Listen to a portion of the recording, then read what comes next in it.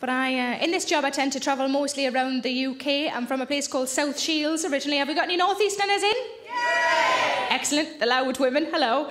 Uh, no, welcome. Thank you very much for coming. Because uh, I, I mean, I, I'm from South Shields, but I actually live in Manchester now, and I mostly work around the UK. Occasionally, I get to go abroad. I went to Australia last year for the Melbourne Comedy Festival, which was great.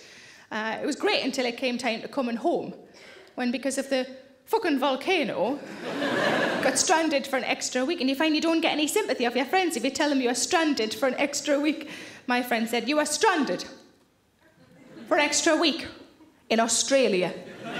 well, bo fucking who? I said, Yes, but listen to the word that you're using. It's stranded. It's not a good word, is it? You could be stranded on the end of Brad Pitt's cock and you'd want to go home eventually.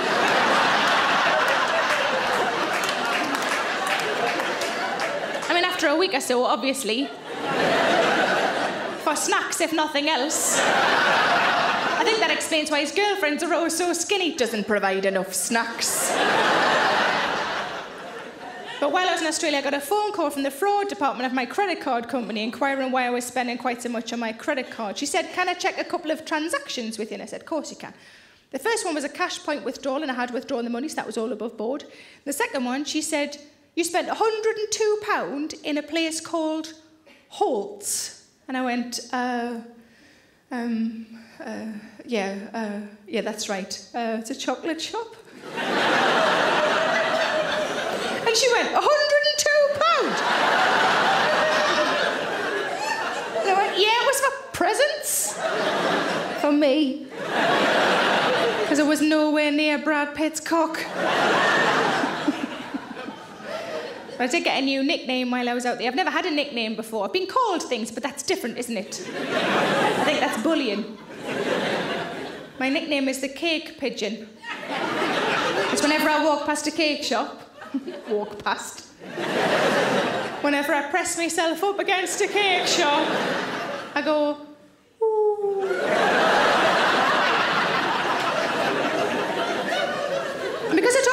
cakes and puddings on stage. Sometimes people bring cakes and puddings to shows for me, which is lovely, but can sometimes be a little bit weird.